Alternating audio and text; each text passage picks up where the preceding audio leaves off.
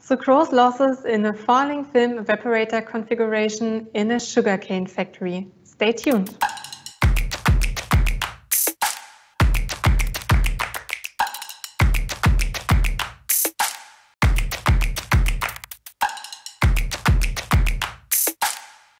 Welcome to today's webinar. And I also want to welcome my colleague Omkar Thaval, who's presenting his results from the study sugar, uh, sucrose losses in the falling film evaporator configuration in a sugarcane factory. So, Omkar, it's your turn. Thank you, Christine. Good morning, everyone. Today's webinar is the second in series of the falling film evaporator performance evaluation uh, study that we commenced in 2019. Sucrose losses or sucrose inversion is the hydrolysis of sucrose under acidic and mildly alkaline conditions with the magnitude of the losses depending on juice temperature, juice pH, juice composition, and juice resident time in the vessel. Undetermined sucrose losses across the evaporator station are of prime interest, especially for factories which aim to reduce their exhaust steam consumption. These factories install large heating surface areas in the evaporator station to maximize vapor bleeding. Some of these evaporator types tend to have longer juice resident time in the evaporator, uh, extending uh, or increasing the extent of uh, sucrose degradation in the evaporator station. An investigation was undertaken to determine the magnitude of sucrose inversion for an evaporator station comprising entirely of BMA falling film tubular evaporators operating with low exhaust steam consumption.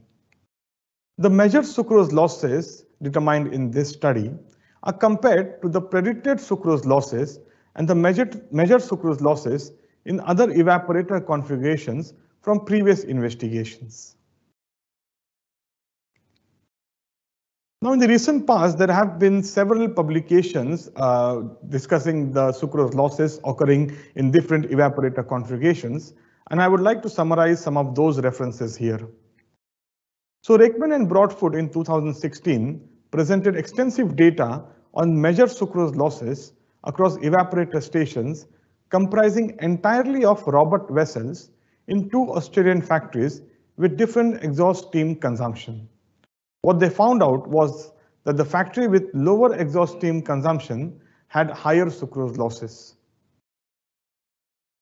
In a further study, Rackemann and Broadfoot extended the work by including more factories uh, in the study and investigating the effects of operating conditions like juice pH and uh, whether the evaporator was cleaned or scaled uh, on sucrose losses. Eggleston et al. in 2019 presented measured sucrose losses at a Louisiana sugarcane factory across different unit operations over a period of an entire crushing season. Wong et al. in 1996 presented measured sucrose losses at a Mauritius sugar factory comprising of Kestner and Robert type evaporators. The most recent one in the list and the one that is quite relevant to our study is the publication by Ashtiani and Abdi et al. from 2020. They presented measured sucrose losses across BMA falling film evaporator operating as a first effect at a Queensland sugar factory in Australia. The above references that I've mentioned have used different methods to determine the magnitude of sucrose losses, and I will talk about these different methods further in the presentation. The sucrose loss measurements undertaken in this study are evaluated against the sucrose loss measurements as again uh, from these references. Now, the schematic diagram shows the evaporator station operating conditions and the vapor bleeding scheme uh, of the uh, evaporator station that the study was undertaken on. So the values shown are the average values from the period between 13 and 22nd December 2019. For example, clear juice at 359 cubic meter per hour and 15 degree 15% uh, Brix entering the first evaporator and syrup at 82 cubic meter per hour at 64% Brix exiting the last evaporator are average values over the period. The average exhaust steam consumption over the period was 32% on cane. The experimental program was undertaken from 13 to 22nd December 2019, where composite samples of clear juice, also referred to uh, as evaporator supply juice, an outlet of each falling film evaporator was collected over a period of two hours. 24 samples were collected in the morning shift and 24 samples were collected in the afternoon shift. 192 samples were collected uh, in the complete program. The sample was transferred to 500 ml bottle and stored at minus 20 degrees Celsius. Each sample was analyzed for refractometric Brix, sucrose, glucose, and fructose. The sucrose, glucose, and fructose were analyzed by high performance gas chromatography by ICUMSA method. The flow rate of clear juice, the calandria and vapor pressures, and all other relevant data was measured from the DCS.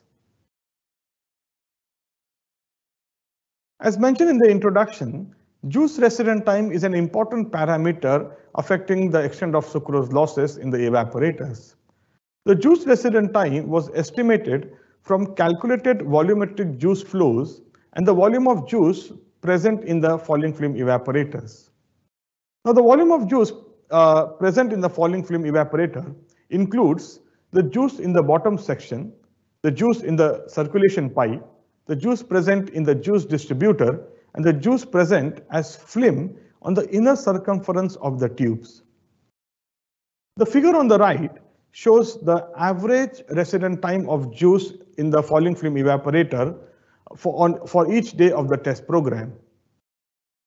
The total juice residence time across the entire evaporator station was 38.02 minutes. Now to measure sucrose losses, four indicators are available uh, from the literature.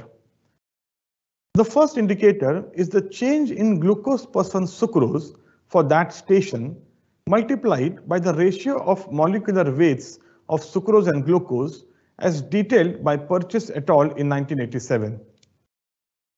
The second indicator is the change in glucose percent Brix for that station multiplied by the ratio of molecular weights of glucose and sucrose and divided by the inlet purity as detailed by Schaffler et al. in 1985. The third indicator is the change in glucose percent chloride for that station multiplied by the ratio of molecular weights of sucrose and glucose and divided by the inlet sucrose by chloride ratio as detailed again by Schaffler et al. in 1985. And the fourth indicator is the decrease in sucrose percent dry substance for that station as detailed by Eggleston et al. in 2019.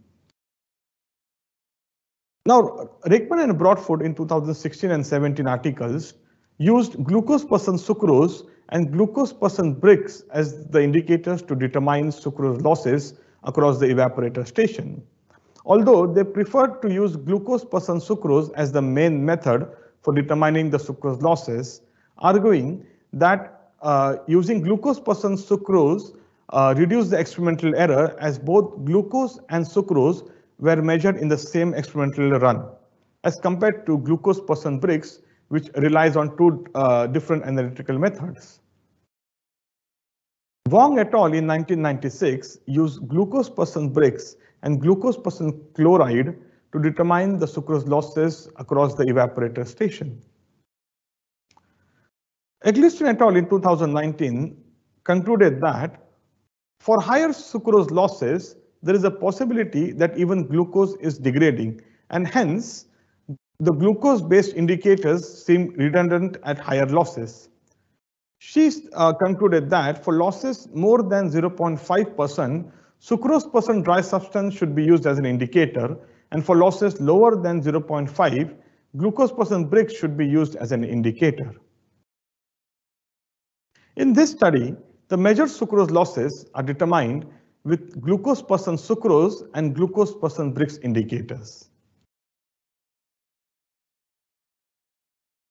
The table on the right summarizes the measured sucrose losses using glucose percent sucrose indicator. As shown with the red, uh, uh, the figures in the red, around 67% of the overall sucrose loss results were negative. And if you combine them with the results that showed negligible losses, we have 75% of all the results showing either a negative value or a negligible value. For example, if you look at the losses across falling film evaporator 1 on 13th of December, the value is 0.02. That value is quite low if uh, where we would normally expect a higher sucrose losses due to the elevated juice temperature. Now, analyzing the data again and uh, referencing the conclusions made from previous investigation, it was found that the low content of glucose can be measured more accurately and precisely than the relatively high content of glucose. In conclusion, the glucose percent sucrose indicator did not prove to be useful in determining the sucrose losses in the falling film evaporator. Now, before I present the measured sucrose losses using glucose percent Brix as a sucrose loss indicator, I would, I would like to talk about the glucose percent Brix value itself. So the table shows the glucose percent Brix values for clear juice and outlet juice of each falling film evaporator. The glucose percent Brix values of clear juice for each day of the test period is uh, shown in the red bracket.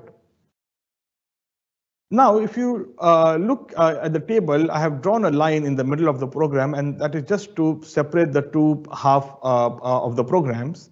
So in the second half of the program, the glucose percent Brix values in clear juice increased on an average by 23%. Now, this can be attributed to a change in cane quality or sucrose losses occurring in the earlier unit operation or a combination of both. Now, the reason for pointing out this increase is that this has an effect on the measured sucrose losses, which I'll uh, talk about in the next slide. Now, the increase in glucose percent Brix from clear juice to the FFE5 outlet syrup was 0.09 units. This change or this increase in glucose percent Brix from clear juice to syrup is small compared to the standard deviation of the glucose percent Brix values across all the streams, which again puts additional challenge in using glucose percent Brix as an indicator. So coming to the measured sucrose losses using glucose percent Brix as an indicator, the table on the right summarizes the results for each falling film evaporator and across the entire station for each day of the test program. Now, as you can see, uh, there are few results which are negative, uh, but fortunately, these negative results were much smaller as a percentage of, uh, for the complete uh, for the complete data set.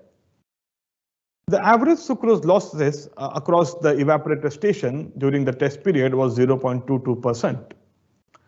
Of the total loss, 53% occurred across FFE1 alone and 86% occurred across FFE1 and FFE2 uh, together. Now, this is uh, understandable as the juice in the falling film evaporator 1 and 2 is at much higher temperature compared to the rest of the effects.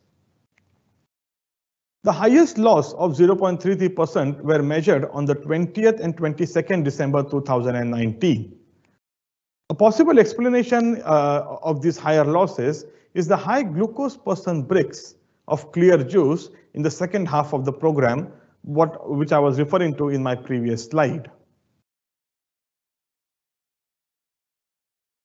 So besides the measured sucrose losses through a direct indicator, there are uh, other independent but non-quantitative indicator of sucrose losses. One of such indicator um, is a pH of uh, evaporator juices. So the volatile acids formed during sucrose and subsequently glucose inversion reduce the juice pH. This reduction in pH can provide evidence of the extent of sucrose inversion. It is seen that higher the sucrose losses, greater is the reduction in juice pH.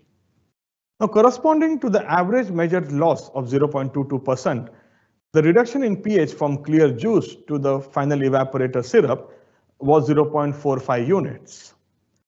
Now to put this juice pH reduction value to some perspective, Rackemann and Broadfoot in 2016 showed a reduction in juice pH of 1.42 units from clear juice to syrup corresponding to sucrose losses of 0.85% across the evaporator station, comprising entirely of Robert evaporators.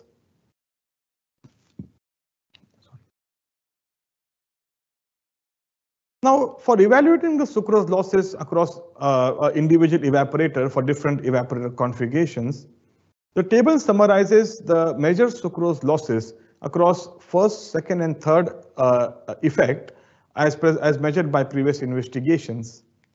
The results from this study is shown in the last row. Now, the measured sucrose losses across FFE1 in this study agrees closely with the losses presented by Ashtiani Abdi in 2020 for the same size evaporator. Now, this alone increases the confidence in the measurements undertaken uh, in this study. Now, the measured sucrose losses across falling film evaporators are substantially lower than Robert and Kestner evaporators at the same position in the set, with up to 70% lower losses across FFE1, up to 50% lower losses across FFE2, and up to 84% lower losses across FFE3. Evaluating the sucrose losses for the entire evaporator station, Rackemann and Broadfoot in 2017 reported sucrose losses of 0.82% for Robert evaporators with clean tubes these losses increased to 1.27% when the tubes were scaled due to the increase in juice residence time in the evaporator as a result of the lower juice processing capacity of the set. Eggleston et al. in 2019 reported 1.84% sucrose losses across the evaporator station, largely due to the high residence time in pre-evaporators. These pre-evaporators have large heating surface areas and they supply vapor to the triple effect, to the juice heaters, and to the pan stage. Now, if we compare all of these losses to the losses measured across falling film evaporators in this study of 0.22%, they are substantially lower than the sucrose losses which is occurring in the Robert evaporator. All right, so uh, in terms of predicted sucrose losses, the predicted sucrose losses are estimated from the Vukov 1965 empirical equation. The predicted sucrose losses for this study are shown in the uh, table on the right, along with the measured sucrose losses for each day. Now it is seen that the predicted sucrose losses are considerably lower than the measured sucrose losses, with the average predicted sucrose losses across the test program being 0.11%, uh, as compared to the measured sucrose losses being almost twice as that. If you look at the difference between the predicted sucrose losses and the measured sucrose losses for individual days, sometimes the measured sucrose losses are three times that of the predicted losses. So it is clear that the application of the Vukov expression seems to have some limitations. Ashtiani Abdi uh, et al. in 2020 uh, presented predicted and measured sucrose losses across a BMA falling film evaporator operating as first effect. And they also uh, found the same trend and same values as found in this study. As in, even uh, for them, the measured sucrose losses were higher than the predicted sucrose losses. Now, it is believed, based on uh, the results from this study and other investigation, that the actual sucrose losses would be closer to the measured sucrose losses of 0.22%. Now, the reason between the difference between uh, the uh, uh, and measured sucrose losses uh, is not clear.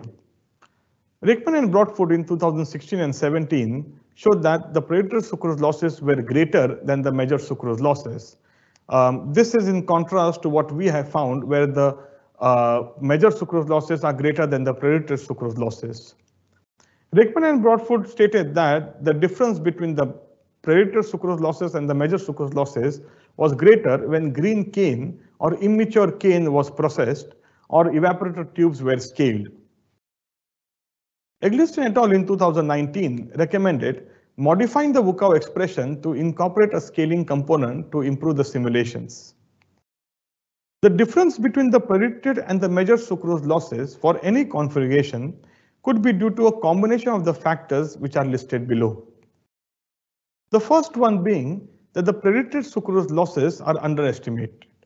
So the Vukov expression was developed on pure sucrose solution and does not consider the catalytic effects of salt and inverse sugar on sucrose inversion. So if you do end up in a situation where you have a high impurity uh, uh, in the in the clear juice stream entering the evaporator, the Vukov expression is unable to pick up on, on that effect. And hence you could be uh, measuring higher losses across the evaporator while the predicted losses would be underestimated. The juice residence time uh, in the evaporator is estimated from the evaporator juice flows and the static liquid level when it's an uh, rising film evaporator uh, is uh, uh, and the juice residence time is calculated. Now this value could be inaccurate, especially if you have two or more vessels operating as parallel. For higher sucrose losses, uh, it is seen that, uh, or it is uh, considered that even glucose is degraded. And hence, glucose percent uh, Brix or glucose percent uh, sucrose indicators seem redundant uh, at, at, such scenarios. So in such scenarios where you would be having higher sucrose losses, but the measured sucrose losses would be underestimating, uh, or the, uh, the indicators would be underestimating the, the actual sucrose losses. And lastly, the measurement of sucrose losses is prone to experimental errors, uh, including during sample collection, sample preparation, sample storage, and the experimental error uh, associated with the analytical method. And the one thing that we have uh, uh, learned from, from this study is, is that it is extremely difficult to uh, measure sucrose losses uh, uh, across evaporators or for any station for that matter. Uh, it takes a lot of skill, a, a, a lot of practice with um, uh, sophisticated methods like chromatography uh, to get uh, repetitive results. So um, measuring sucrose losses across uh, any station is, are, uh, is, is very difficult. Lastly, to understand the impact of sucrose losses on sugar production and revenue losses, a simple example is simulated. Consider a cane sugar factory uh, with a crushing capacity of 10,000 tons per day. The factory is operating for 160 days and processes, processes a cane of pol content of 14%. The clear juice purity is 86%. The factory undertakes extensive vapor bleeding from the evaporator station to reduce exhaust steam consumption. Two scenarios are considered. In case one, the evaporator station comprises entirely of Robert evaporator and consequently the sucrose losses across the station uh, is 1%. And in case 2, the evaporator station comprises entirely of BMA falling film evaporators and consequently the sucrose losses uh, across the station is 0.22%. Now, considering similar boiling house efficiency in both the cases, in case 1, we have 2,200 ton per annum of less sugar produced as a result of 1% sucrose loss across the evaporator station. In case 2, we have 500 ton per annum less sugar produced due to 0.22% uh, sucrose losses across the evaporator station. Considering a raw sugar price of uh, 400 USD per ton and molasses price of 150 USD per ton, the net increase in revenue for a factory operating with falling film evaporators would be 650,000 US dollars for each crushing season. Summarizing the conclusions from this study, an experimental program was undertaken to determine the extent of sucrose losses for an evaporator station comprising entirely of BMA falling film evaporators. A total of 192 samples were collected and analyzed for sucrose, glucose, and fructose using high performance gas chromatography. Juice residence time across the evaporator station was estimated to be 38.02 minutes. The measured sucrose losses based on change uh, in glucose percent Brix uh, were used uh, to calculate the across each falling film evaporator. On average, the glucose percent Brix increased by 0.09 units across the complete evaporator station, which corresponds to a sucrose loss of 0.22%. These losses were measured after FFE1 and FFE2 had been in operation for 29 days. Decline in juice pH of 0.43 units across the station indicate similar magnitude of losses. The measured sucrose losses across falling film evaporators are considerably lower than the Robert evaporator configuration, both operating with extensive vapor bleeding to reduce exhaust steam consumption. These reduced sucrose losses reflect in additional sugar production. When factories are uh, considering to upgrade the evaporator station, the return on investment calculation needs to incorporate the increased revenue due to reduced sucrose losses across falling film evaporators. The complete set of results undertaken uh, uh, in this study is published as a referred paper at the 93rd South African Sugar Technologies Association Congress 2021, which was held virtually earlier this week. The paper will be available on the SASTA website for downloading soon. Thank you for your attention. Thank you, Omkar, so much for presenting us these insightful results of your study. Um, and then we will start with the Q&A part. So now it's your turn to uh, send us your questions uh, for this presentation. And I will start with the uh, with one comment to your presentation, and um, maybe you can give us your opinion to this one. Um, the extra sucrose loss due to scaling is the sum of two impacts, higher residence time in evaporators and catalytic, catalytic impact of scale on the sucrose hydrolysis inversion reaction. Well, I, I agree to the, uh, uh, let's say, half of the comment that the um, the increased sucrose losses for, due to scaling is because of the uh, higher uh, resident time of the juice in the evaporator because the processing capacity of the evaporator has reduced. Um, although I don't uh, really uh, agree that the scale itself has a catalytic effect, um, I have not seen any evidence that would suggest that is occurring or um, but if the person who's asking this question has uh, that uh, evidence or the reference, I would be uh, it would be great to see that. Yeah, thanks. Okay.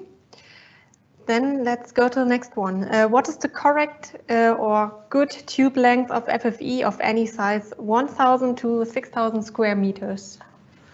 The tube length, uh, yes, again, the, the length of the tube would definitely have an impact on, on the juice resident time and the overall operation of the falling film evaporator. Uh, for cane sugar factories, uh, one thing uh, you, also, we also have to keep in mind that these evaporators have to be cleaned quite often, sometimes um, every week or every at least every two weeks for them to uh, you know have this high heat transfer coefficients, um, especially at the later stage of the uh, set.